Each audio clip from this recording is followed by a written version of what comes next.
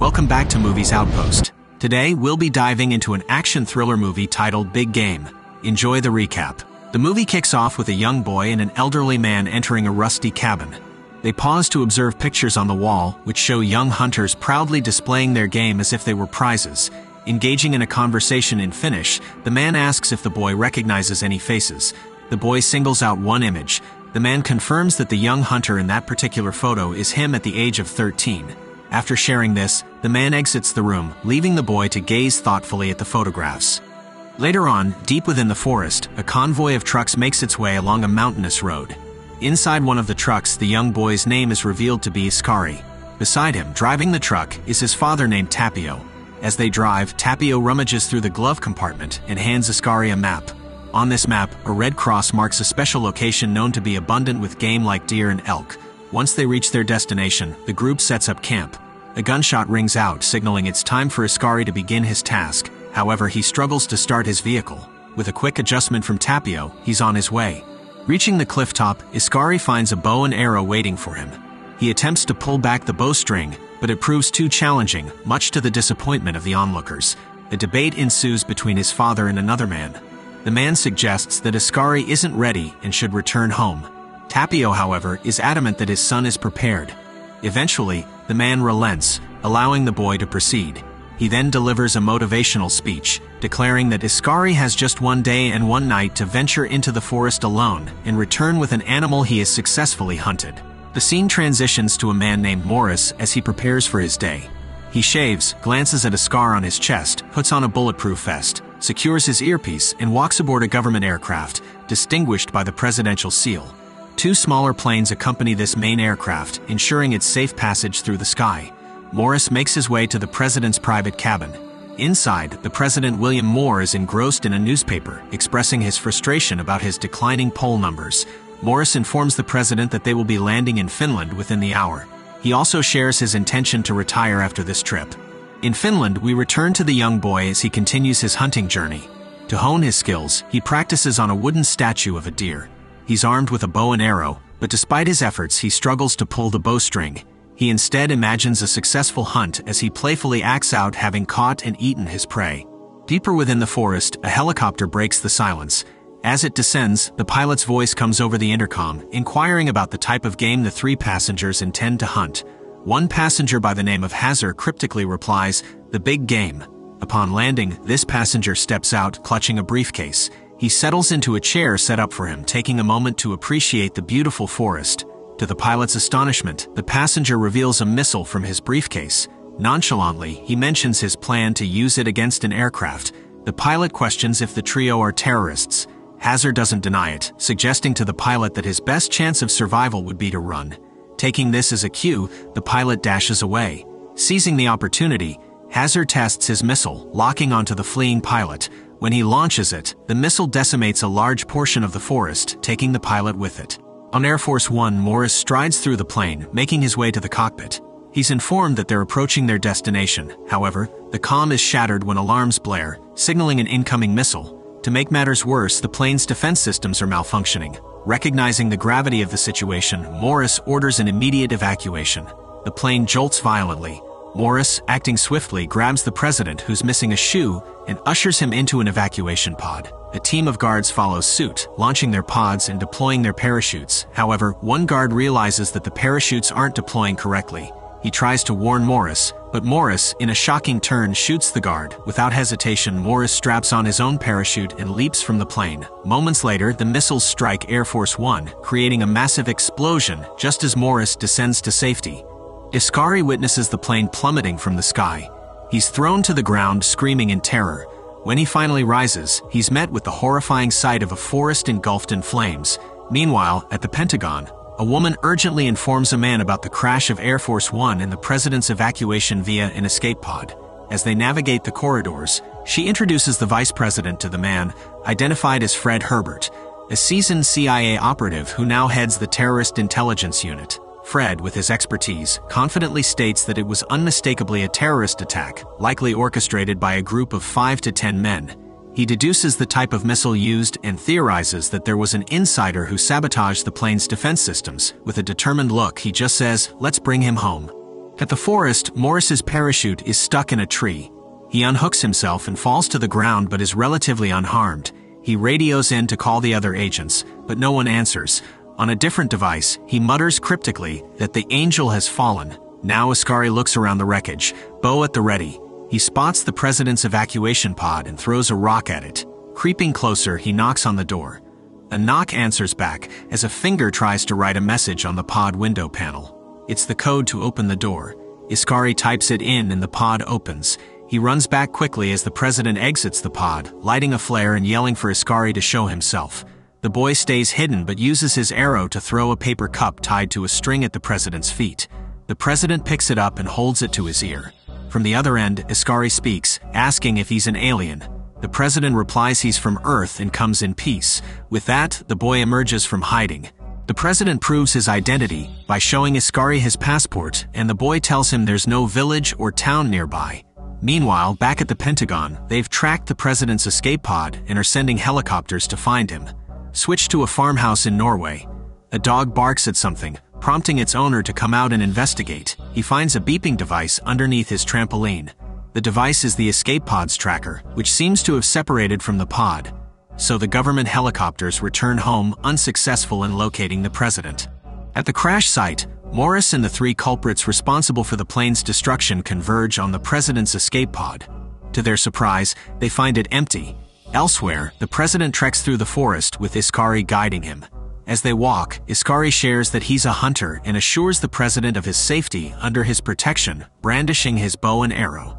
The president seems skeptical but chooses to trust the young boy. Iskari then leads him to his vehicle, and the president requests to be driven to the nearest town. However, Iskari declines, revealing that he's on a special mission for his birthday. Reluctantly, the president settles into the back seat, and they embark on their journey through the dense forest. Back at the escape pod, Morris examines the footprints and deduces that someone aided the president's escape. Out of nowhere, he shoots two of the guards, then turns to Hazar, vowing to deliver the president to him. Inside the Pentagon, Fred begins his investigation by researching hunting companies in the area. He then requests that satellites be repositioned to provide a comprehensive view of the terrain. Iskari stops his vehicle, pointing to a red X on his map indicating an ideal hunting location. They decide to set up camp there, preparing a meal over a crackling fire.